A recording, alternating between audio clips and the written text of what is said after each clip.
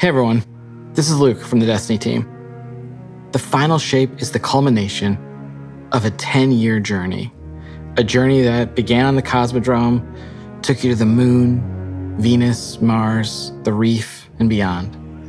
It's a journey that'll end inside the Traveler with you facing the Witness. But facing the Witness is not the end of Destiny 2, and it's definitely not the end of Destiny. After you face the Witness, we're going to tell you what's coming next to Destiny 2 and beyond. We'll see you soon.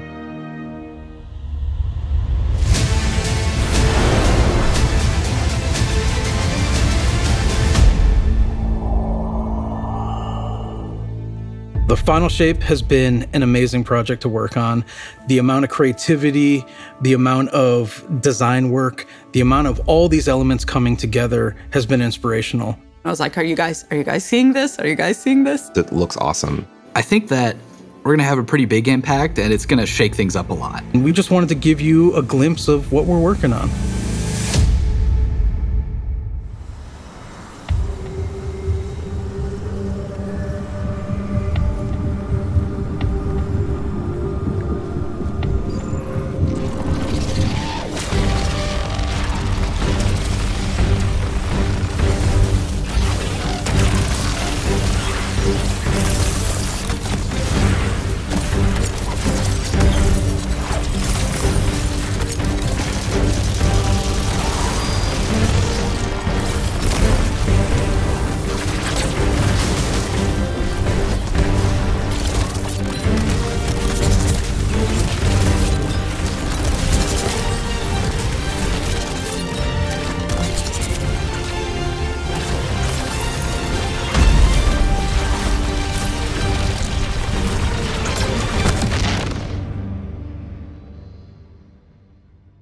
We are going into the pale heart of the traveler, and the traveler has chosen you, the guardian, to be its champion. It's empowering us with gifts that we've never really had before. One of the concept artists early on created this very evocative image of a guardian with light armor and dark armor. We're like, we really need this in the final shape. This is the ultimate form of being a guardian to wield light and darkness at the same time. We built Prismatic exactly to be that. Prismatic is the new subclass in the final shape where you can combine certain class abilities from different damage types together. Getting light and dark and mastering it. No one's done that before.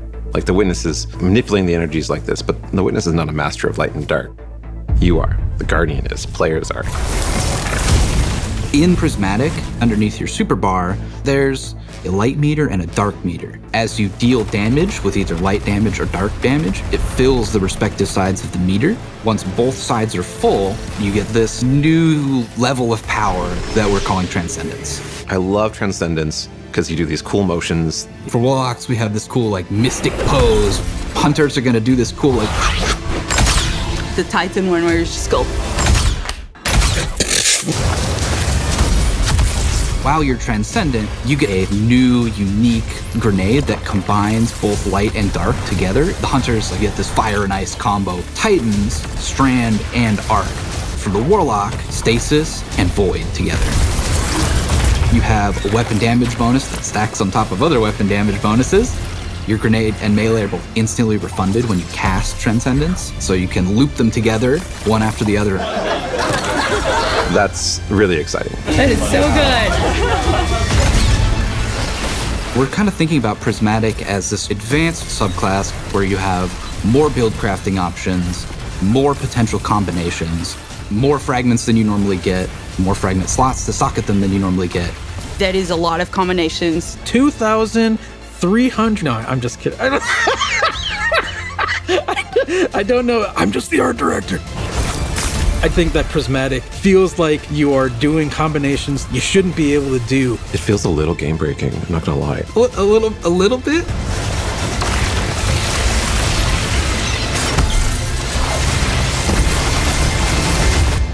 You're gonna be like, oh no, what have I done? I'm gonna be here all night.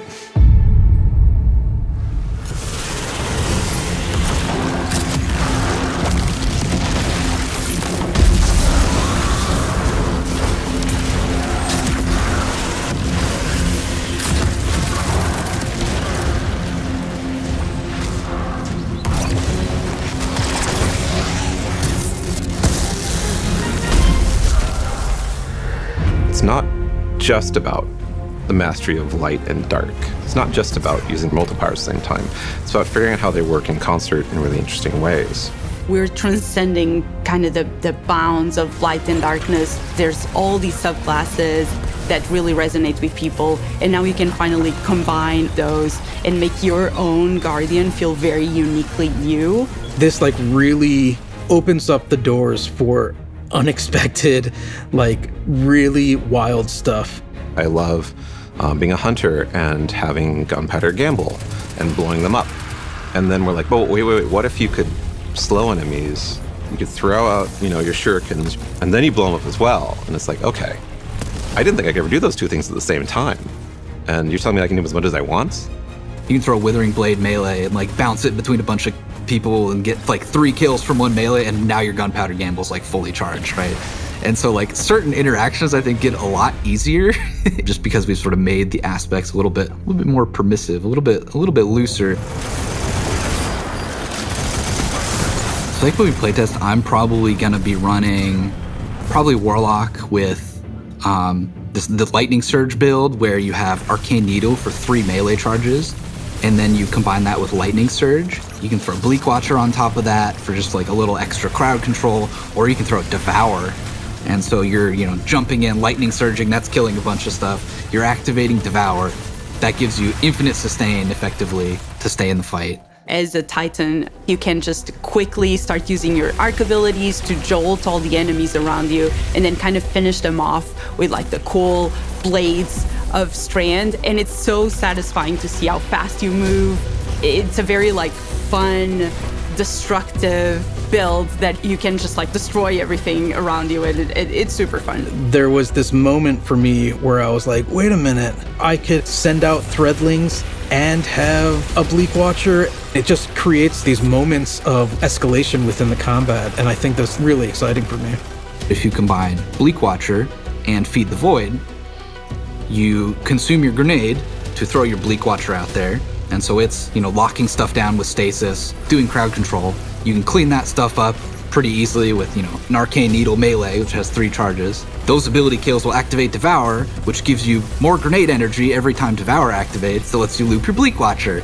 And so you can have like multiple Bleak Watchers out in the field, freezing stuff everywhere. You're just like launching your cool strand melees out, and everything's dying, and it's great.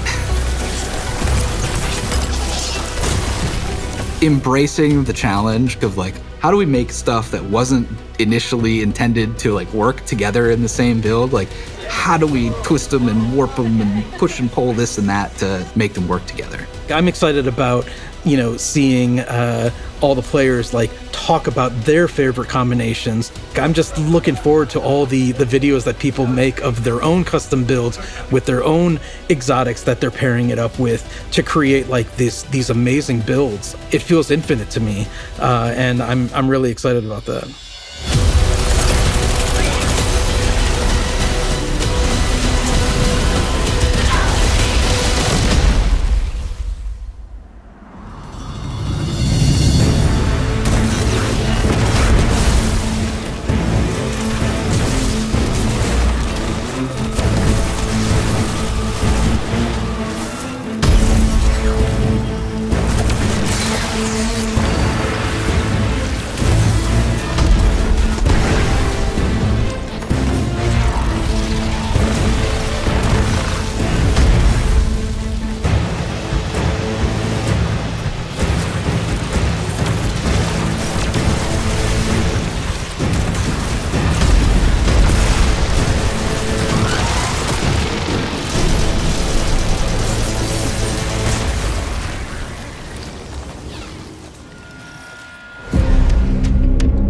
Final shape, we're going to be making these new exotic class items.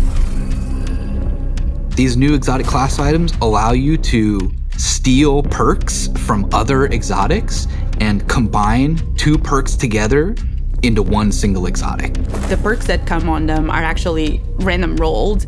One thing that is going to be fun is to chase these perks and then find different combinations that work really well.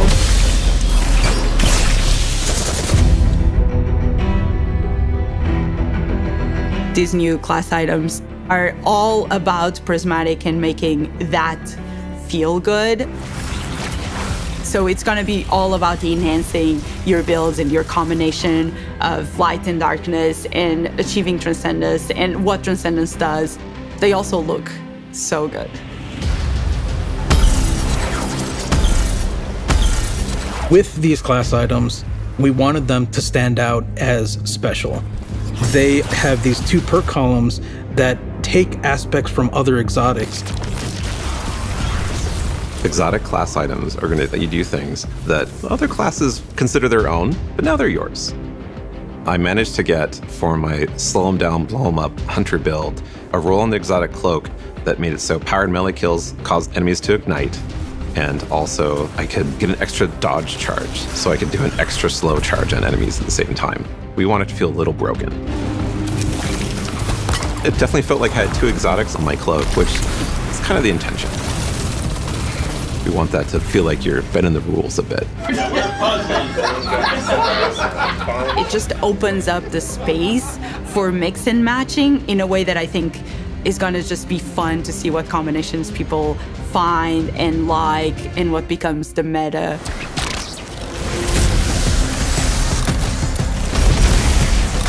They look amazing. They have visual effects that activate when you are transcendent. It just really ties into this overall theme. But on top of that, the gameplay with basically stealing exotic traits from other exotics and even from classes that aren't you adds this element of spice to them and the fact that it's random rolls you're going to want to keep looking for the right one for your builds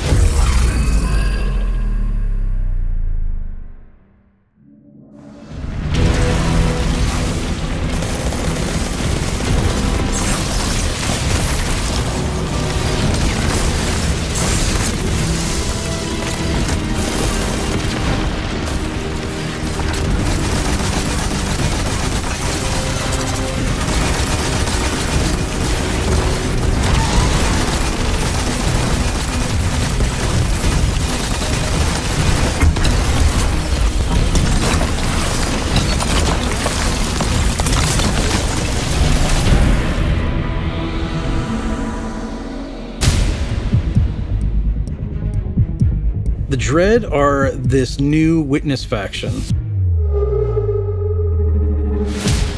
When you see these new characters, not only do they look unique and new, but you see like a through line that we've been building through the years that connects it all together.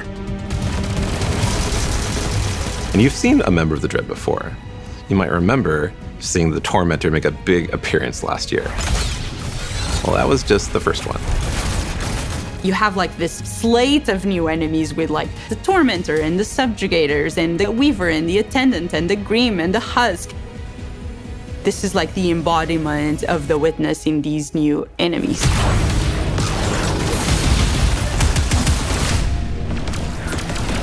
The Grim is probably one of my favorite new enemies that we have in Destiny. I think it's a poster child of the Dread in some ways. It's this bat with a gun. The gun bat, yes, exactly.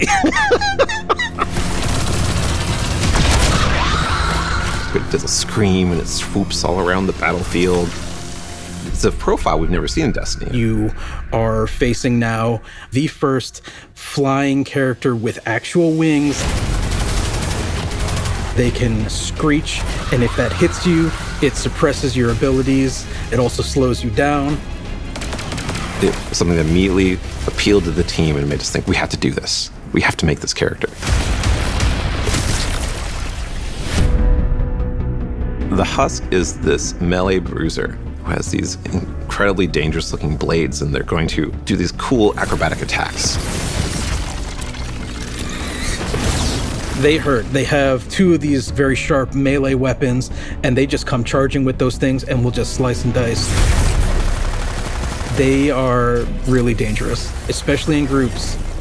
If you manage to kill the husk, you have to be careful, because if you kill it the wrong way, what's inside of the husk, the Geist is going to pop out and it's going to seek you out. A Geist has killed me, more than I care to admit. Now I'm like looking everywhere every time I go into a fight and I'm like, Is there a husk somewhere? Is there a husk somewhere? Because I'm targeting that first. the Weaver and the Attendant are our Strand and Stasis scions that have been reshaped by the Witness. We wanted to show like the influence of darkness powers on these characters. They have a stasis ability that can shoot at you that will freeze you. They have a strand ability that will pull you across the battlefield. The fact that you can get suspended and frozen in place just adds a big new dynamic to the fight.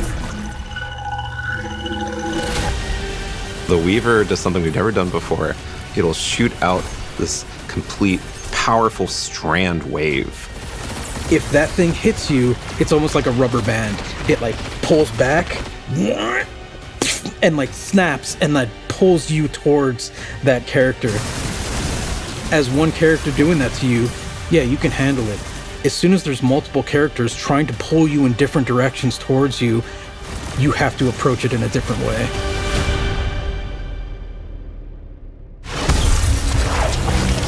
We're really excited about everything that we've been doing for the final shape.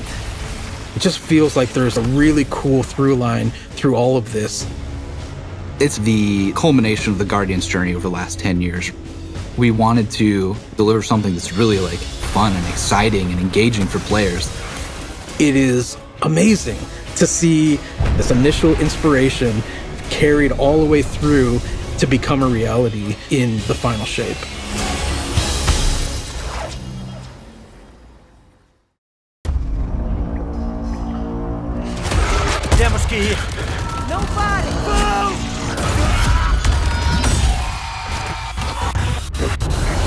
A testemunha trouxe a treva para dentro do viajante para transformar a ameaça em nossa aniquilação.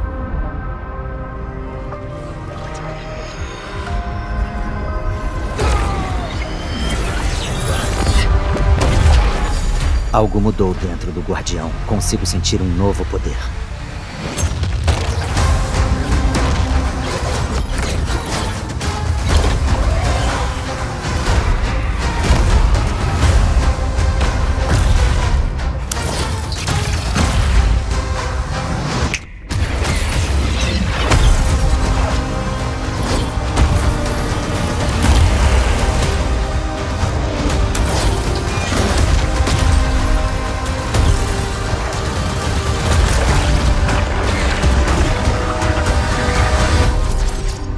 Pegue esse poder, guardião. Seja valente na escuridão. Pois somos a luz da esperança.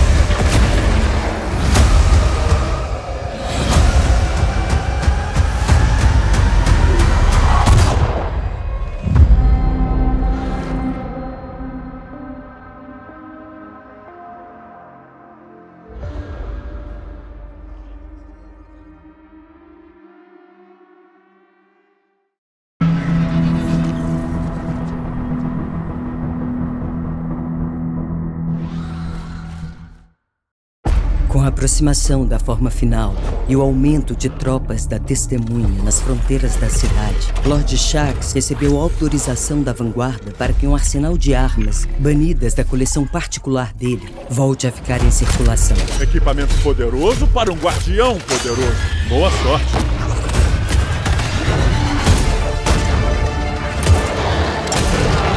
Tome cuidado com isto. Armas que antes víamos como heresias se tornaram medidas drásticas para nós. Sei que vai fazer com o uso. Lute bem. Revidar só nos dará mais tempo, mas não fazer nada é inconcebível. Mal posso esperar para ver o que vocês vão fazer com isso. Magnífico!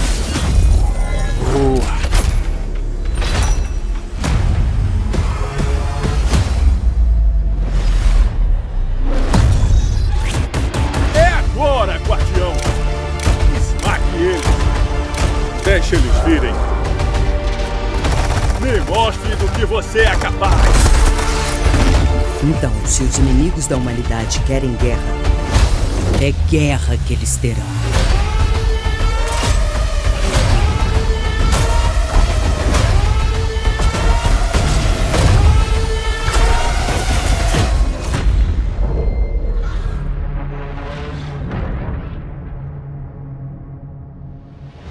Usando a criatividade. Adoro ver isso!